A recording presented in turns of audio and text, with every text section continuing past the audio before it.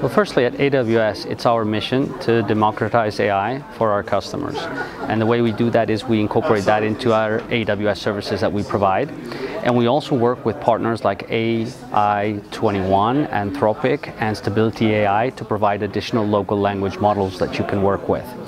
From a postal sector perspective, what we'd really like to see is the development of future decision-making tools. So instead of just looking backwards, it's looking forward, and this would allow postal operators and the entire network to actually provide better price, quality, and service for the customers.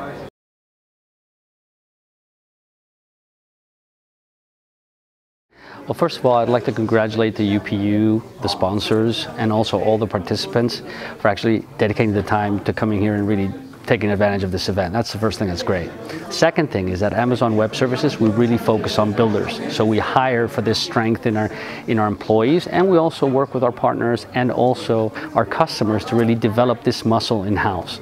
And I think this hackathon, what it actually gives you is this muscle at scale, right? So you're bringing in probably 70 to 80 people that are all going to be building, and what you're doing is you're scaling out the impact of innovation. And I'd like to congratulate the UPU for this effort and look forward to seeing it next year.